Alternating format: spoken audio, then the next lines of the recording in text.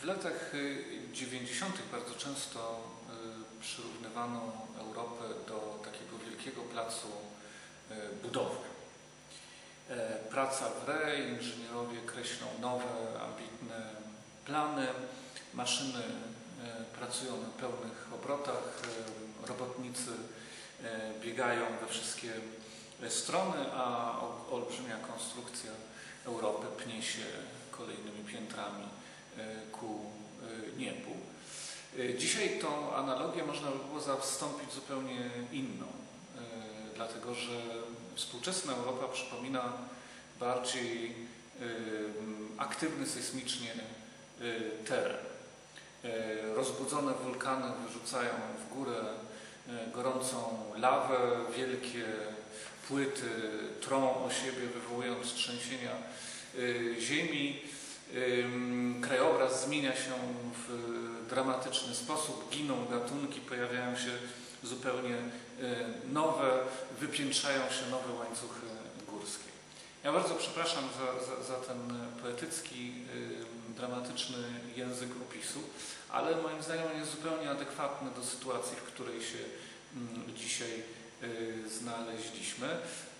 Europa, którą żeśmy znali, Europa, do której pod postacią Unii Europejskiej Polska wchodziła w 2004 roku, ona odchodzi do historii. Zmienia się jednocześnie bardzo dramatycznie i powstaje zupełnie coś innego.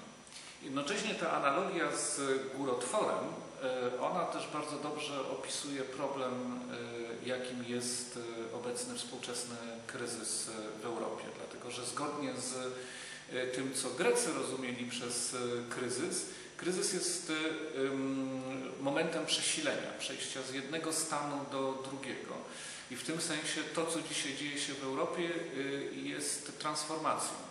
Jest powolnym rozpadaniem się tego, co do tej pory było, ale jednocześnie powstawaniem zupełnie nowego układu sił, nowej sytuacji, w której będziemy musieli się na nowo odnaleźć.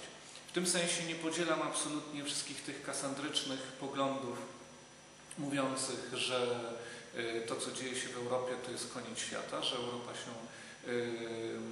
rozpada, ginie i nic już później nie będzie, będzie tylko pusta, czarna dziura, a my wreszcie będziemy mogli robić to nam, co się żywnie podoba. Tak nie będzie. Europa się zmienia i ta zmiana będzie nas coraz bardziej wciągać, będzie coraz bardziej determinować naszą przyszłość i naszą, naszą sytuację.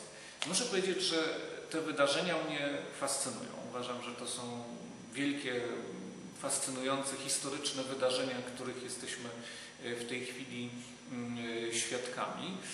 Jak przyglądam sobie polskie media papierowe i elektroniczne, to niestety mam czasami wrażenie, że w tych swoich fascynacjach jestem lekko w Polsce odosobniony.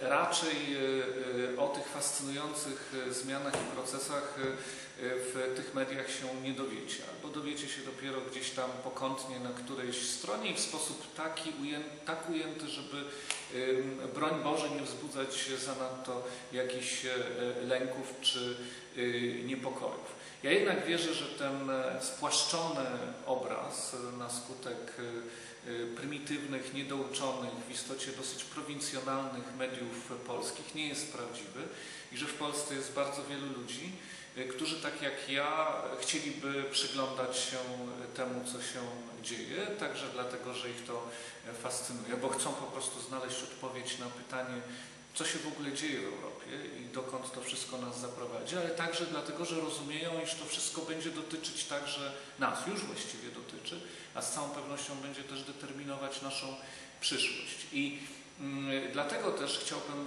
w kilku następnych nagraniach właśnie temu problemowi się przyjrzeć i zachęcić do tego, żebyśmy razem zastanowili się, co się dzieje i gdzie to tak naprawdę nas wszystkich będzie prowadzić. Zapraszam.